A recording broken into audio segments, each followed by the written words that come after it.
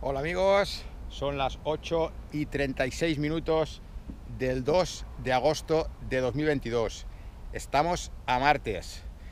¿Y qué acabamos de hacer? Pues acabamos de hacer 20 series de 400 recuperando un minuto.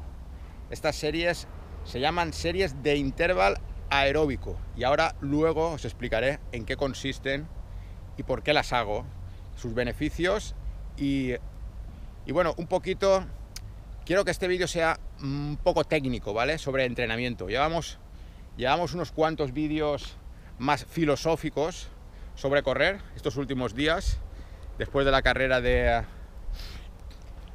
de la Volta Peu al Chúquer, que hicimos el sábado pasado, y me apetecía hacer ya un vídeo un poco más técnico de lo que son aspectos de los entrenamientos.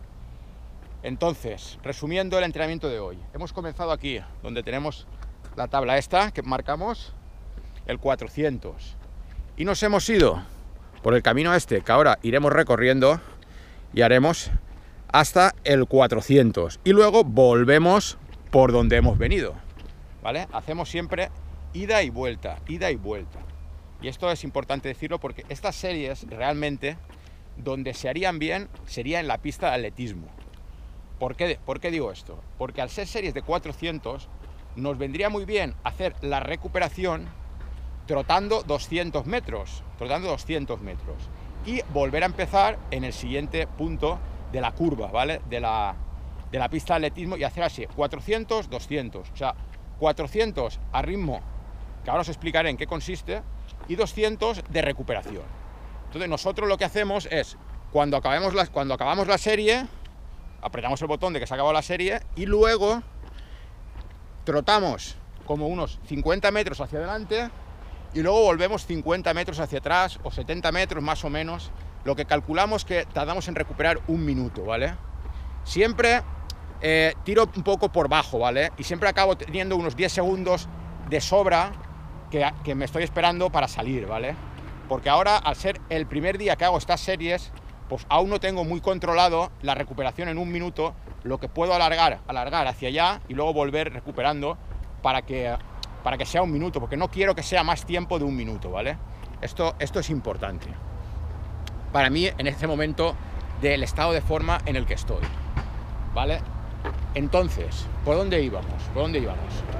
Bueno, salimos de allí, como os he dicho, de donde tengo marcada la tabla, que me marco con el, GP, con el GPS primero. Primero me hago los 400 metros con el GPS despacio, trotando, ¿vale? Entonces ya sé dónde está el, el inicio y el final del 400, pues esto es importante. No puedes estar mirando el reloj cuando pita el 400 y tal. Tienes que estar concentrado en un punto, tienes que estar concentrado en un punto donde termina la serie y en otro punto donde empieza. Entonces yo siempre que voy a un sitio que no conozco, este ya me lo conozco, ¿no? Pero, pero si fuese a entrenar a otro sitio donde, que no conociera, entonces lo que haría sería hacer eso. Primero me hago los 400 metros trotando, me pongo unas piedrecillas o una tabla de madera o lo que sea, y ya sé, ya sé dónde empieza y dónde termina. Esto es importantísimo.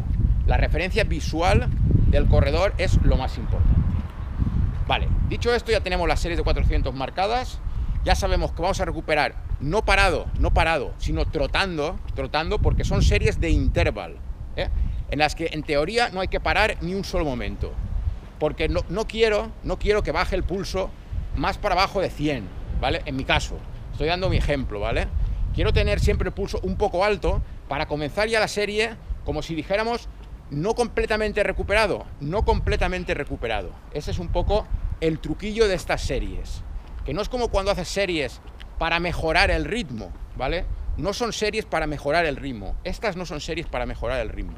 Aunque ahora, en este momento en el que estoy yo, que estoy muy lejos de mi mejor momento, van a servir también para recuperar el ritmo. Pero estas series son de semi calidad, no son series de calidad. Estas series no te tienen que dejar las piernas destrozadas para, para mañana, ¿vale? No te tienen que dejar las series de las piernas destrozadas. Son series de semi calidad, que la gente lo entienda. Las series de calidad las haremos el sábado. Hemos hecho la carrera el sábado pasado. El domingo salimos en bici a recuperar y ayer salimos a rodar 22 kilómetros también suave a disfrutar, ¿vale? Entonces nos hemos recuperado de la carrera perfectamente y además, como corrimos con las con las famosas alfa, ¿vale? Corrimos en, en, en Riola. Estas son el mismo modelo, pero en otro color. Pues estas zapatillas lo que hacen es que después de correr una carrera no tienes ningún dolor en las piernas, porque tienen tanta amortiguación que, vamos, es como si no hubieras competido. Y eso es una pasada, las zapatillas estas de última generación. Para mí es lo mejor. Más que te hagan correr un poco más, es la capacidad que tienen de no dejarte destrozado después de hacer estas series de 400. Yo cuando las hacía con voladoras tipo, tipo las Adidas Adiós, eh, Bost, tipo las, las Nike Street, eh, tipo, no sé, las, las Mizuno 1400, hay las Mizuno 1400, las, las New Balance 1400 o 1500 que también las tenía, ese tipo de zapatilla voladora que hacías las series antes y te dejaba destrozado, destrozado, esto con estas zapatillas nuevas es lo, que lo mejor. Más que te hagan correr un poco más por la placa de carbono o por la, o por la reactividad, para mí es lo más importante es esto, la capacidad que tienen de no dejarte destrozado después de un entrenamiento duro. Vale, dicho esto sobre las zapatillas, que siempre estoy haciendo publicidad de las zapatillas estas voladoras de última generación mágicas, porque es que la verdad es que ha sido un cambio increíble en lo que es el corredor de fondo. Eh, yo lo he notado barbaridades y estoy seguro de que gracias a estas zapatillas que tenemos ahora, estas mega tecnología que podemos llevar en los pies, vamos a alargar la vida del corredor de fondo por lo menos, por lo menos 10 años más. Mira lo que digo, 10 años más. Vale, dicho esto, volvemos, volvemos a las series, ¿vale? ¿Qué os estaba diciendo sobre este entrenamiento? Que es un entrenamiento que no te ha de dejar destrozado. ¿Por qué? Porque si os habéis fijado a qué ritmos los he hecho yo estas series, me he movido todo el rato entre 1.15 y 1.16, ¿vale? 1.15 y 1.16, que significa más o menos, más o menos, ir a un ritmo de entre 3.15 el kilómetro, 3.15, 3.12, 3.16, más o menos ese ritmo el kilómetro, ¿vale? Que es un poco el ritmo que yo quiero ir en un 10K allá por el mes de octubre, ¿vale? Antes de la media maratón de Valencia, debo de tener en las piernas, en un 10K, debo de tener en las piernas ese ritmo de hacer 32-30, que es ir a 3.15 el kilómetro, ¿vale? Entonces, hoy en estas series he estado corriendo 8 kilómetros, 8 kilómetros parcelado en 400 metros, recuperando un minuto a ese ritmo de 3.15 el kilómetro. ¿Y qué consigo yo con estas series? Aparte de dejar en mis piernas ese ritmo de 3.15, tenerlo, dijéramos, asimilado en los músculos y tenerlo asimilado en los pulmones y en el corazón. El ritmo ese de 3.15 el kilómetro, ¿vale? Que es hacer las series de estas de 400 en 1.16, 1.15, ¿vale? Más o menos siempre, más o menos. Porque esto es siempre todo más o menos. Siempre hay un pequeño margen arriba y abajo. Entonces, aparte de esto, de dejar en las piernas ese ritmo, la recuperación es muy importante. Porque si yo hiciese ese, ese ritmo de 10K y recuperara dos minutos, estas series no servirían para nada. Para absolutamente para nada. Sirven cuando en vez de parar, trotas, trotas un poquito y vuelves trotando y no dejas que baje las pulsaciones, el corazón, no dejes que baje el esfuerzo y comienzas la otra serie de 400, dijéramos, recuperado solo a un 70% de lo que podrías recuperar, ¿vale? Entonces consigues esa especie de pequeña, pequeña ventana, pequeña ventana que se aproxima a lo que sería una carrera, ¿vale? Porque en la carrera vas a ir todo el rato a ese ritmo durante 10 kilómetros o durante 8 kilómetros, si es una popular, ¿vale? A 3.15. Entonces, en vez de recuperar del todo, solo recuperas un poco más de la mitad de lo que podrías recuperar y se aproxima mucho a lo que sería, se va aproximando a lo que sería el ritmo de carrera, sostenido. Y cada vez, cada vez que vamos acercándonos más hacia la competición esa del mes de octubre, ¿vale? Lo que hacemos es en la recuperación esta de, interval, si lo hiciéramos en una pista de atletismo, esos 200 metros que recuperamos, iríamos cada vez un poquito más rápido, ¿vale? Iríamos un poquito más rápido. Porque aquí hacemos 50 o 70 y volvemos 50 o 70 más y ya salimos. Pero en una pista de atletismo tenemos que hacer los 200 metros. Entonces, para llegar al 400 y volver a salir. Entonces, lo que hacemos es ir un poquito más rápido, por lo tanto hacemos una recuperación menos, menos menos recuperación, porque vamos más rápido, bajan menos las pulsaciones, y ya ¡pam!, volvemos a salir al minuto. Y así conseguimos aproximarnos a un ritmo de mantenimiento de competición objetivo. Esa es la clave, el ritmo objetivo. Yo en mis planes de entrenamiento trabajo mucho los ritmos objetivos, porque al final tú entrenas para conseguir un objetivo. En este caso mi objetivo es hacer 32-30 en el 10K o en un 8K, es lo que necesito ese ritmo para luego trasladarlo al medio maratón y poder moverme entre 3.21, 3.20 el kilómetro, ¿vale? Entonces, si sé que me muevo a 3.20, 3.21 el kilómetro en media maratón, me voy a mover en 3.30, 3.32 en una maratón, ¿vale? A mis niveles, ¿vale? Tengo esos estándares a mis niveles, porque ya lo he hecho y yo ya sé que cuando estoy así, estoy así y estoy así, ¿vale? Esto no puede trasladarse a un, eh, dijéramos, entrenamiento de 3 horas en maratón o 3 horas 30. Ahí son otros estándares y otros, dijéramos, márgenes de, de ritmos, ¿vale? Pero a mi nivel, a mi nivel, yo, mi cuerpo y mi forma de correr y mis prestaciones, dijéramos, esto también depende del corredor, no es todos los corredores son iguales, pero claro, como yo llevo tanto tiempo entrenando y ya sé cuáles son un poco mis prestaciones, necesito hacer 32, 30 para poder hacer una hora 10